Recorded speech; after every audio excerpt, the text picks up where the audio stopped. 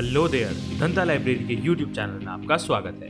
आज मैं आपके लिए एक और वीडियो लेके आ गया हूँ, जिसमें हम बात करने वाले हैं टेक्स्ट स्कैनर ऐप की। तो बिना किसी देरी के, आइए देखते हैं।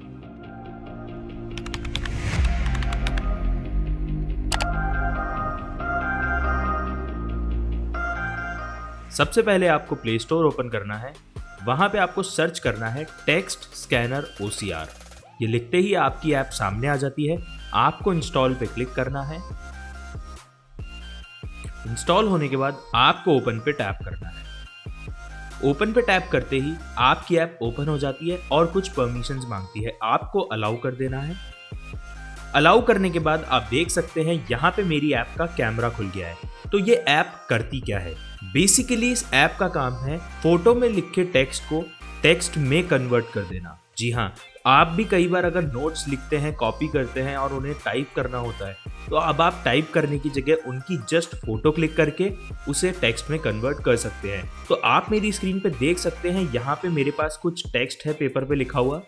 तो अगर मैं इसकी पिक्चर क्लिक करूँगा तो ये मुझे ऑटोमेटिकली टेक्स्ट में कन्वर्ट कर देगा। इस ऐप के अंदर कुछ एड जाते हैं जो कि टोटली इग्नोरेबल है। अब मैं पिक्चर क्लिक करता हूँ।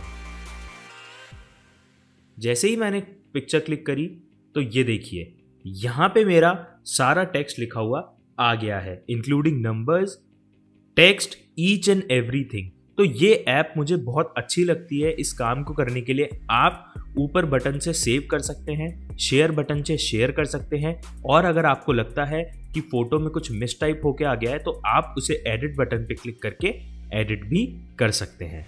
उसके बाद हमें इस ऐप के अंदर कुछ और फीचर्स मिल जाते हैं मैं आपको दिखाता हूँ। यहाँ पे आपको ऊपर गैलरी का ऑप्शन मिल जाता है। अगर आप चाहें तो आप अपनी गैलरी को भी एक्सेस कर सकते हैं, यानी कि किसी पहले की खींची हुई पिक्चर से भी आप टेक्स्ट निकाल सकते हैं।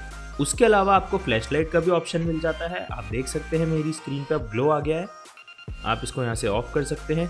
साथ में आपको यहाँ पे एक स्कैन हिस्ट्री का ऑप्शन मिल जाता है। तो आप इस पर क्लिक करके अपनी स्कैन हिस्ट्री चेक कर सकते हैं। और उसके बाद आपको सेटिंग्स का ऑप्शन मिल जाता है। सेटिंग्स के अंदर आपको एक प्रीमियम एडिशन मिलता है स्कैनिंग वाइब्रेशन मिल जाता है वॉल्यूम की से कंट्रोल करने का ऑप्शन मिल जाता है scan and auto save image का ऑप्शन मिल जाता है। उसके अलावा भी आपको काफ़ी सारे ऑप्शंस मिल जाते हैं।